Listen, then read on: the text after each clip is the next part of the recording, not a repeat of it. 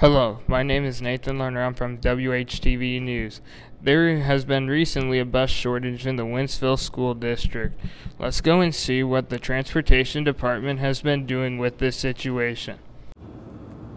To apply to the transportation, you can go to the Wentzville District webpage and go to the transportation site, according to Boyks.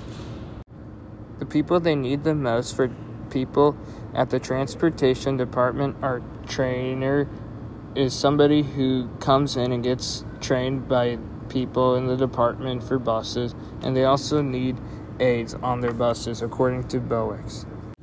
The big reason why there's a bus driver shortage is because most drivers were retired and they decided they'd realign their values and what was important to them according to stlpublicradio.org.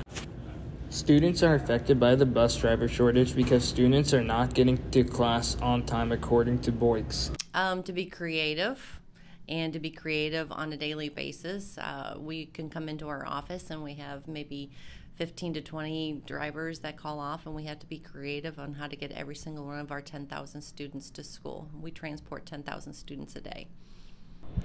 For more information about bus shortages, you can go to the Wentzville School District website to check on bus shortages. Now back to the studio.